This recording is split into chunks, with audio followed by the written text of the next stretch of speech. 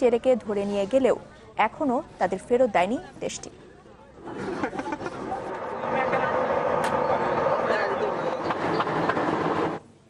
জানাব দেশের বাইরের খবর। ভারতে বাতিল ঘোষণা করা নোট বদলাতে ব্যাংকে লম্বা লাইনে দাঁড়িয়েছেন গ্রাহকরা।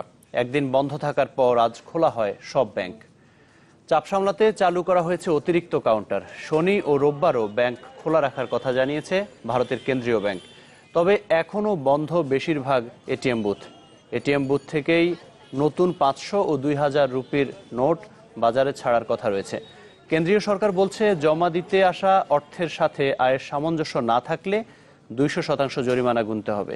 পুনেতে সড়কে মিলেছে হাজার রুপির নোট ভর্তি একটি থলে, যাতে হাজার রুপির নোট ছিল বান্নটি।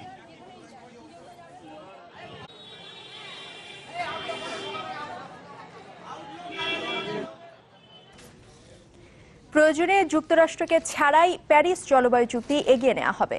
মরক্কোতে জলবায়ু সম্মেলন conference of parties COP twenty টুতে অংশ নেয়া বিশ্বের বিভিন্ন দেশের প্রতিনিধিরা এই কথা জানিয়েছেন। দায়িত্ব নেয়ার একশো দিনের ভেতরে প্যারিস জলবায়ু চুক্তি বাতিল করবেন। নির্বাচনের আগে ট্রাম্পের এমন ঘোষণার জেরেই এসব কথা বলেন তারা। বৈশ্বিক উষ্ণতা ঠেকাতে জাতিসংঘের কর্মসূচিতে যুক্তরাষ্ট্রের অর্থদান বন্ধেরও হুমকি দিয়েছিলেন ট্রাম্প। তবে এ চুক্তি থেকে বেরিয়ে আসতে যুক্তরাষ্ট্রের প্রায় চার বছর সময় লাগবে.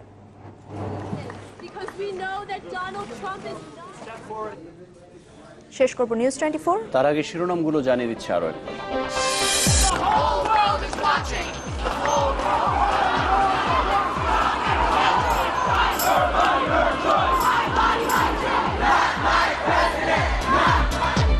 যুক্তরাষ্ট্রের বেশ কিছু শহরে ট্রাম্প বিরোধী বিক্ষোভ। স্বাধীন